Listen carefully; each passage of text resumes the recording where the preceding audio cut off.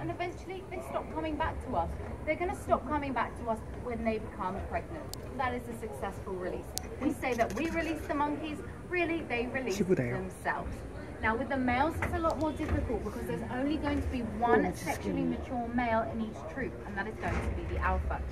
so our two choices for our male howler monkeys are we either released a troop of around three or four male monkeys with no specific hierarchy. They go out into the jungle all together and they either start to adopt uh, female monkeys into their own troop or once they're big and strong enough, they can defeat the alpha of a different troop and take over as alpha of that already grown troop.